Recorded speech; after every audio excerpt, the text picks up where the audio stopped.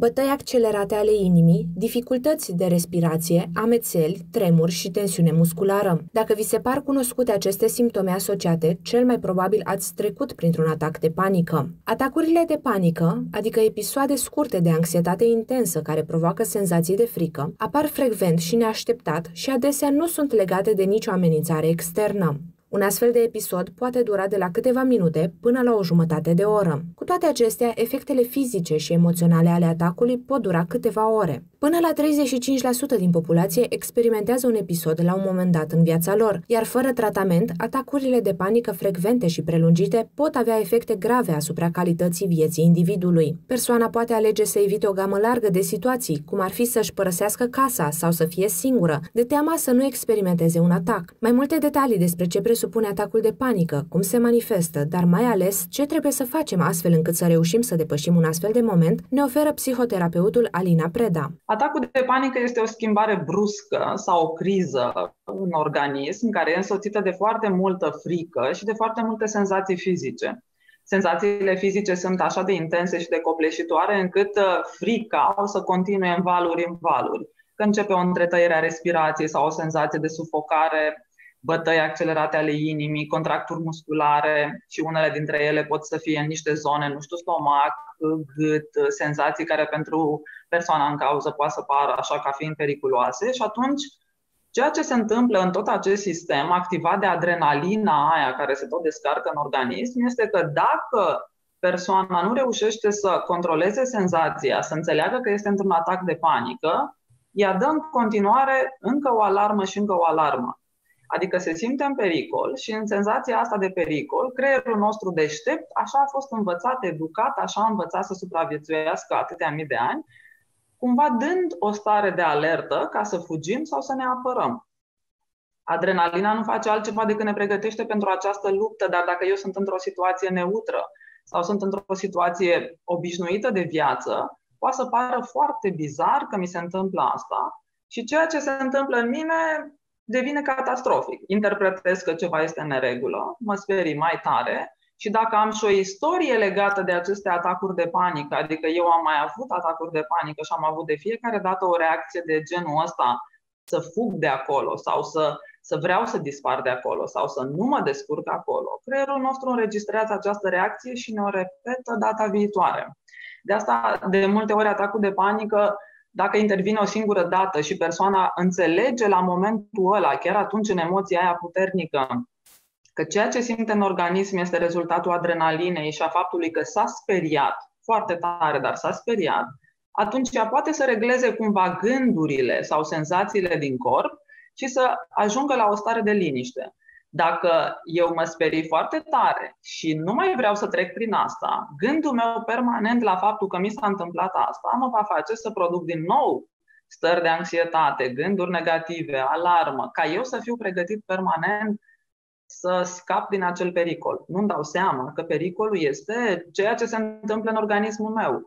Și sigur că senzațiile fiind puternice și durând și oamenii având tot felul de gânduri și asocieri că pierd controlul, că nu mă descurc, că o să nebunesc, că o să fac infart, că o să-mi pleznească ceva în cap, nu au cum să se liniștească decât dacă au încredere că este tot în regulă, corpul lor rezistă și ar fi minunat să aibă și niște tehnici de intervenție atunci, fix atunci, în acel moment. Dacă că se poate întâmpla oricui, să aibă un atac de panică atunci când situația, nu știu, îl depășește sau îl provoacă foarte tare și nu este pregătit chiar în acel moment. Dar dacă ele vor fi mai multe și vor fi înspăimântătoare, dacă vor continua sau nu, depinde, cum am zis mai devreme, de reacția mea de atunci. Când cineva învață anxietatea, pentru că în mare parte anxietatea se învață, adică sunt niște gânduri, leu, ce mă fac, sunt în pericol, îmi bate inima, am răcit, m-am îmbolnăvit, ceva în cap se simte, adică am tot auzit de-a lungul educației mele, de-a lungul formării mele, am auzit astfel de reacții, le învăț și eu. Și acesta este de fapt istoricul, că eu învăț niște reacții automate de fugă, de teamă, de sentiment de lipsă de control atunci când în corpul meu se petrece ceva. Ă, ca să supraviețuiesc mai ușor, persoana respectivă o să încerce să evite acele situații care îi provoacă anxietatea asta atât de puternică. Evitând acele situații, mintea noastră înregistrează că acelea sunt periculoase. Și atunci, din contră, va da alarma și mai puternic. Deci cumva istoricul este presărat cumva cu niște reacții de alarmă și cu niște reacții de evitare sau cu niște reacții de asigurare că nu o să mi se întâmple nimic. Dar tocmai lipsa de prezență, de curaj în acel moment îl face pe om să aibă din nou atacuri de panică, pentru că în momentul în care mă sperii, dacă eu nu simt niciun fel de sentiment de control asupra respirației mele, asupra corpului meu, eu sunt în aer. Sunt într-o stare de pericol, nu am control și corpul reacționează automat. Dacă persoana respectivă are mulți ani de când, având anxietate sau atacuri de panică, a evitat niște situații, de exemplu, ieșit în public sau uh, să se expună în niște situații, să dea examene, să încerce lucruri mai mari și mai provocatoare, atunci mintea persoanei a înregistrat permanent o frână, frână, acolo e periculos, acolo e periculos. Și aceste gânduri sunt cele care vor declanșa la un moment dat, automat, niște reacții de panică, pentru că na, creierul nostru asociază tot ceea ce noi facem. Dacă am o reacție puternică emoțională într-un anumit context, le va asimila împreună. Dacă eu am niște reacții de panică în mai multe contexte, le va memora pe toate și în fiecare dintre ele, sau în cele asemănătoare cu aceste lucruri memorate, va da o stare de alarmă. Alarmă care se simte în mine, se simte cu senzații puternice, dar eu am control. Eu am control asupra acestor senzații, asupra corpului meu. Dacă n-am exersat asta, dacă nu am încercat niciodată niște tehnici de reglare a emoțiilor sau a senzațiilor din corp, mă simt într-adevăr într-un pericol și mai mare și atunci adrenalina aia despre care spuneam, pe care eu când le explic clienților spun că o doză de adrenalină când ai zis vai este echivalentă cu vreo 100 de cafele. Ai băut 100 de cafele, fii relaxat și calm acum, să vedem dacă te descurci. Nu ne descurcăm sub impactul unei substanțe, nu ne descurcăm să fim la fel de calmi, la fel de relaxați, dar tocmai asta avem de făcut atunci învăț în acel moment că este un atac de panică. Asta este, prim, asta este primul lucru, ca să nu continue la nesfârșit acel, acel mecanism de alarmă.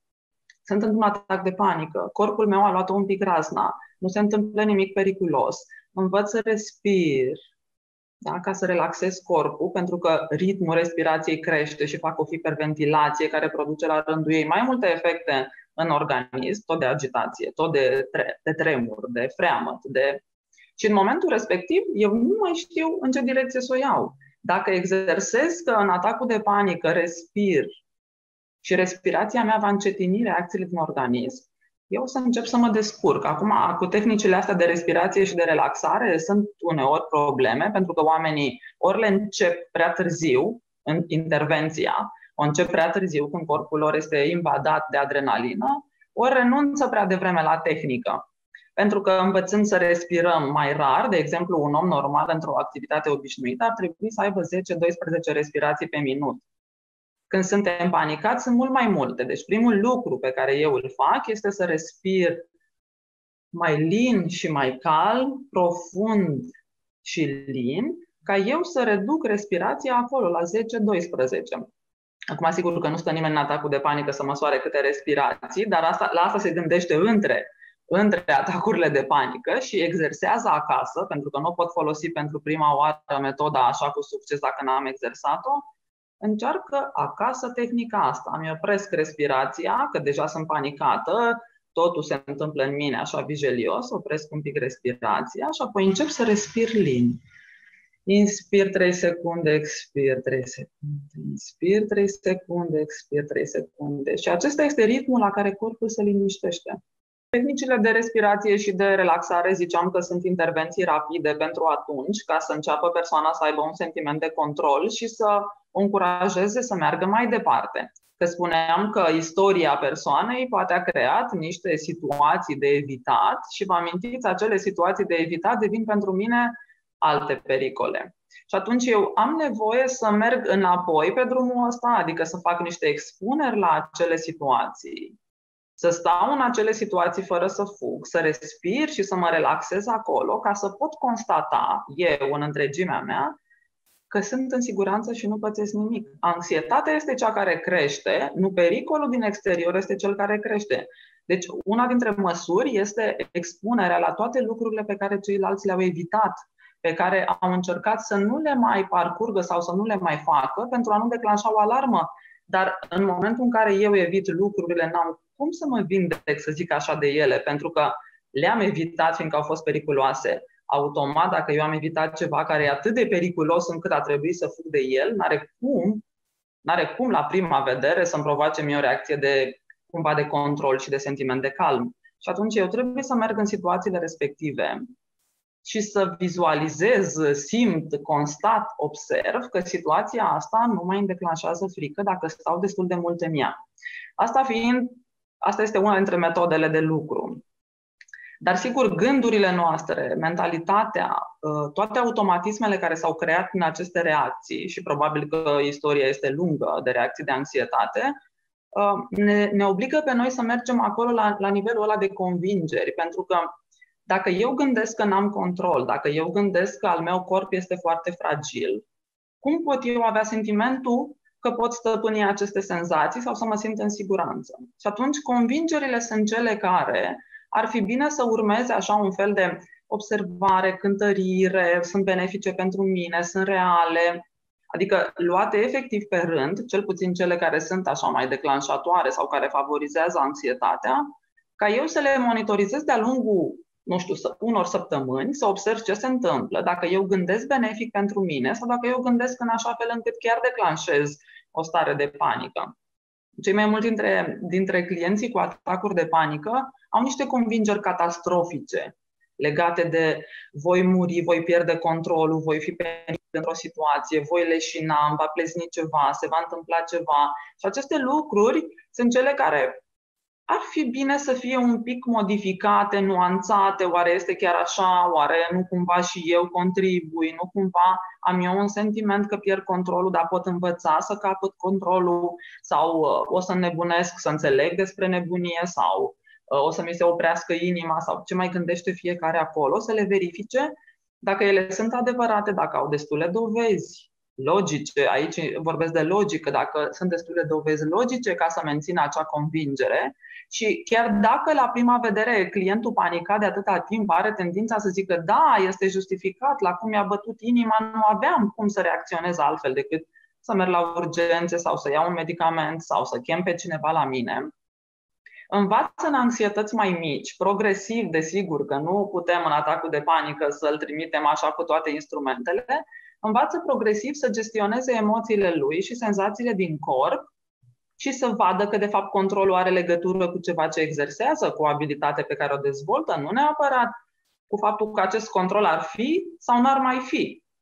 Corpul nostru reacționează la o comandă automată, nici nu este prea conștientă. Dacă mă uit conștient la, la, la comanda pe care am dat-o automat, hai să mă mai uit odată, să văd. Poate fi altfel, pot să fiu mai nu știu, calm, mai liniștit, să-mi dau seama că, uite, senzațiile mele vor urca până nu știu unde și apoi vor coborâ și pot să le calmez. Și, de fapt, corpul nu este bolnav când se întâmplă asta, că la fel se întâmplă când alergăm. Când alergăm avem niște senzații mai puternice decât în atacul de panică, dar le considerăm justificate. În atacul de panică le considerăm nejustificate și atunci asta ne sperie și mai tare. Deci, ar fi ca și intervenție Tehnicile rapide pentru respirație și pentru musculatură ca să se relaxeze ar fi expunerea la lucrurile pe care le-am evitat ca să le constat și să dau noi informații minții mele cum că acolo este safe pentru mine și că mă descurc. Și partea mai lungă este cea despre convingeri, gânduri automate, logică, uh, ce beneficii are mentalitatea asta, Uh, de exemplu, mulți dintre, dintre clienții cu atacuri de panică, la nivel de convingeri despre sine, au multă vulnerabilitate. Și atunci nu accesează tot potențialul lor, toată, toate instrumentele pe care le-ar avea sau toate resursele pe care le-ar avea, pentru că în momentul în care ceva invadează, tendința lor, nu neapărat asta este singura posibilitate, dar tendința lor este să zică eu nu o să fac față. Și acest nu o să fac față e necesar să fie transformat. O să fac față la orice o să vină, că de fapt acolo ar fi bine să ajungem, la orice să vină. În general, atacul de panică este diagnosticat cu ușurință. Acum, oamenii care au atacuri de panică întâi merg la medic, foarte mulți merg la medic și caută să vadă dacă aceste simptome au niște cauze fizice. Dar uh, dacă ar fi să facem așa un protocol, primul lucru ar fi acesta. Clientul merge la medic, unde este evaluat dacă e tot în regulă cu el din punct de vedere al sănătății, ca să fie exclusă varianta asta, că ar fi o problemă de sănătate. Și apoi simptomele care, pe care omul le prezintă împreună cu gândurile lui sunt niște criterii. În momentul în care el descrie niște situații în care a avut senzațiile astea fizice, gândurile negative de boală, de nebunie, de pierdere de control, de leșin, dar diagnostic medical nu are, uh, simte doar frică, este destul de clar că este un atac de panică. Acum, dacă este un atac de panică, cum am zis, este simplu. Dacă este o tulburare de anxietate în care facem atacuri de panică, este mai complicat, că înseamnă că eu am, de fapt, în toate domeniile vieții mele, am o plajă de gânduri din astea cu anxietate, care mă țin pe mine la un nivel de activare, nu știu să zicem dacă folosim niște unități subiective, pentru că mie mi-e teamă de o să întârzi, o să greșesc, o să uit, o să fac, mă stresează, mă duc la lucru, mă ține la un nivel de anxietate la nivel 40, să zicem, din 100. Dacă mai vine încă un element minor care mă sperie și ăla, eu ajung repede, instant ajung la o senzație de lipsă de control, pentru că a ajuns anxietatea foarte sus și acolo cumva logica nu prea mai există când anxietatea este foarte sus. Deci diagnosticul, după ce omul trece pe la medic și vede că nu se întâmplă nimic, de cele mai multe ori ei au câțiva ani de parcurs din ăsta medical, de mers la urgențe, pentru că este senzația aia de criză bruscă și pe care nu pot controla și le teamă că vor muri subit.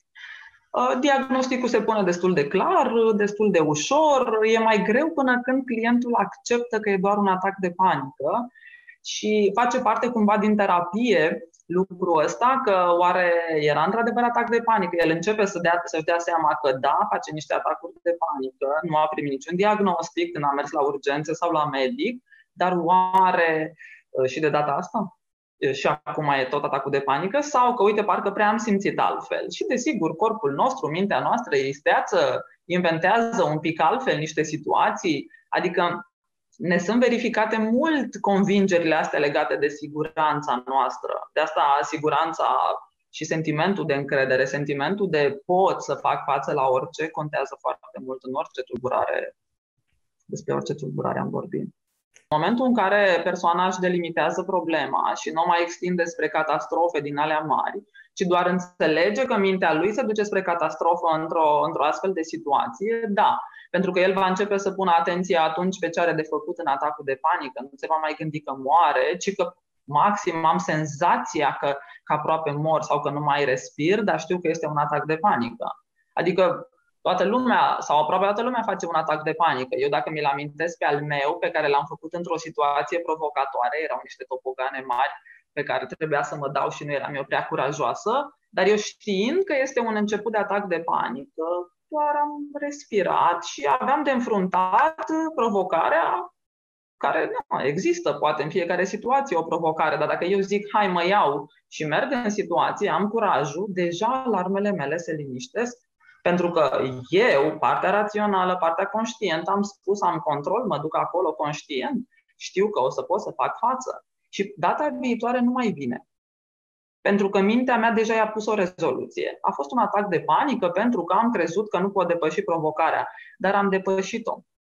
Dar de asta spuneam că evitarea situației sau confruntarea situației schimbă foarte mult progresul. Că dacă eu confrunt situația, eu am dat cea mai mare dovadă pentru mintea și corpul meu că situația nu e periculoasă. Dacă eu am fugit sau am evitat-o, indiferent ce îi mai spun, e puțin credibil. Mergi și demonstrează-i ca să creadă.